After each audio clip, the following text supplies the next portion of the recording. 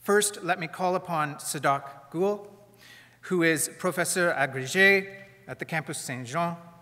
He is the recipient of a SSHRC Insight grant, and he'll be discussing culture and financial markets.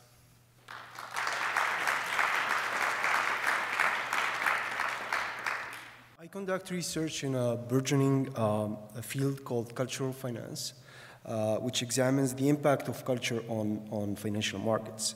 This field originates in uh, the seminal work of Max Weber, uh, a 1905 book uh, entitled The Protestant Ethic and the Spirit of Capitalism.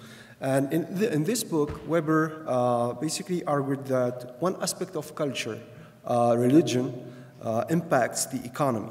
More specifically, uh, Weber uh, proposed that Protestantism, as opposed to Catholicism, uh, explained the success of, of capitalism. Protestant values such as hard work, thrift, striving for social and economic success were the ingredient of economic growth in the West.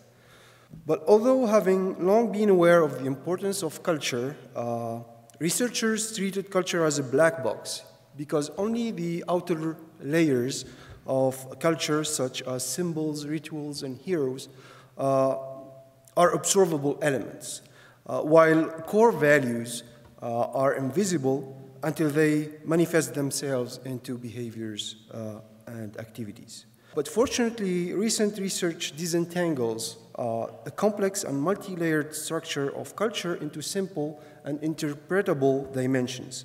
For instance, Hofstede proposes uh, four national dimensions of culture. These are uncertainty avoidance, individualism, power distance, and masculinity. The table shows uh, how a few countries, including Canada, score on those dimensions. The scores range from 0 to 100. The first dimension, uncertainty avoidance, captures the extent to which members of a culture feel threatened by uh, uncertainty and ambiguity. Uh, the second dimension, which is uh, uh, self-explanatory individualism. Uh, in an individualist society, uh, ties between individuals are loose. Power distance, the third one, captures the extent to which less powerful members of a society expect power and wealth to be unequally distributed. And finally, masculinity uh, captures the extent to which male assertiveness, uh, like ambition, material success, is a dominant value as opposed to female nurturance. In my previous research, I used those dimensions to link uh, culture to uh, financial uh, outcomes in, in, the financial markets. In one paper, for example, I show that collectivist countries have corrupt bank, uh, uh, bank systems. In another paper, I show that US firms located in more religious counties uh, enjoy cheaper equity financing costs. And in another paper, I document that national culture influences the choice of debt maturity. For example, uh, firms located in countries that score higher uh, on uncertainty avoidance have lenders extend uh, loans with shorter maturities.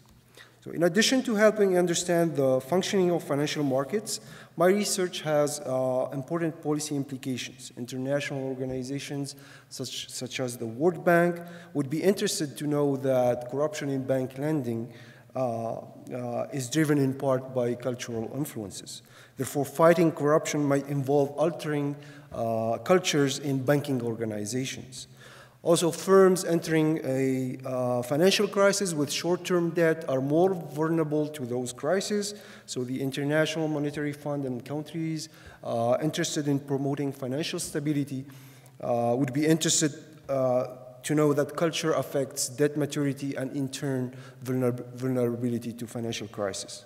So thanks to SSHRC funding, in my next project I will be exploring uh, the role of culture, the role that culture plays in financial markets. Specifically, I will be uh, examining how culture influences the selection and pricing of the characteristics of debt contracts, namely debt seniority and debt covenants.